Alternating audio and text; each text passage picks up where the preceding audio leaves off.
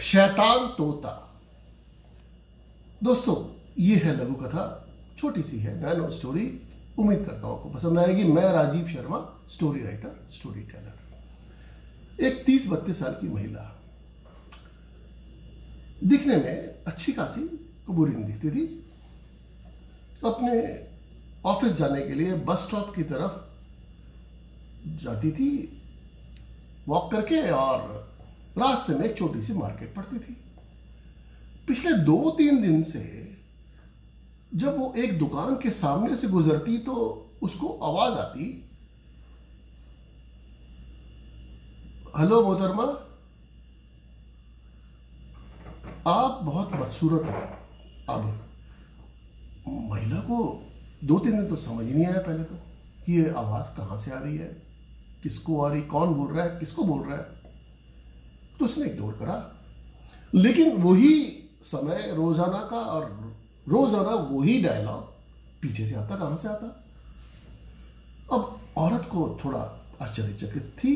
चौथे दिन, इस बार वो बहुत ज़्यादा, वो मान के चल रही थी कि अब वो फिर से आवाज़ आएगी उसी वक्त पर।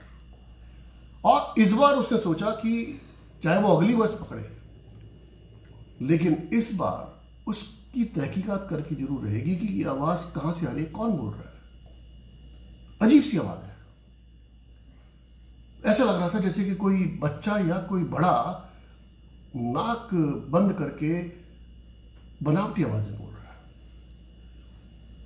अब उस दुकान के सामने से गुजरते हुए इस रोज थोड़े कदम धीरे कर लेती है। और वही आवाज़ आती है, हेलो मोहतरमा आप दुनिया की सबसे खूबसूरत, सबसे बदसूरत औरत है।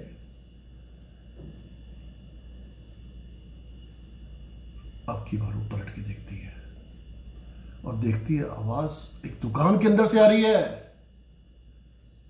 दुकान के अंदर जाती है, देखती है, बिल्कुल उसके दरवाजे पर ही एक पिंजरा है, जिसके अंदर तोता बंद है।